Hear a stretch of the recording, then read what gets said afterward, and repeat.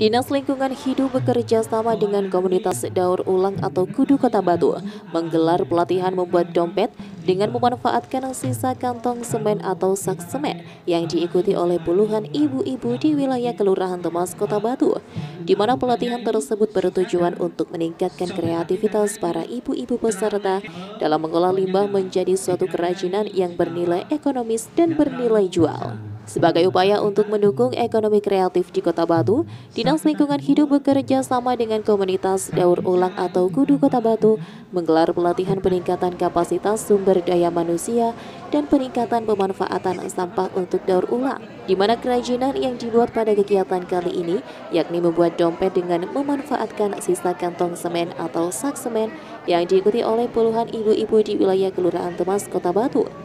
Kegiatan yang berlangsung di Balai Desa Kelurahan Temas ini selain untuk meningkatkan kreativitas para ibu-ibu peserta dalam mengolah limbah menjadi barang yang bernilai ekonomis, juga bertujuan untuk mengurangi jumlah sampah yang dibuang di sungai maupun di tempat pembuangan akhir sehingga lingkungan menjadi lebih sehat dan juga bersih.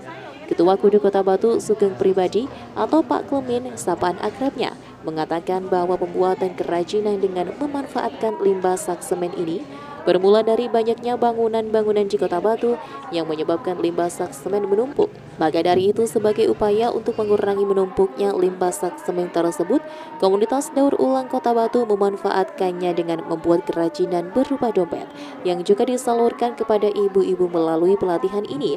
Sehingga diharapkan melalui pelatihan ini, ibu-ibu di wilayah Kelurahan Temas dapat memanfaatkan limbah yang ada di sekitar yang dapat memberikan nilai-nilai lebih secara ekonomi bahkan dapat menjadi suatu peluang usaha untuk meningkatkan perekonomian. Sampah semen kalau kita bilang di Kota Batu banyak sekali ya karena Batu lagi pesat itu persoalan pembangunan ya enggak di mana-mana semua orang pada bangun hotel, bangun tempat wisata, bangun lingkungannya. Nah ini kalau untuk semennya itu melimpah.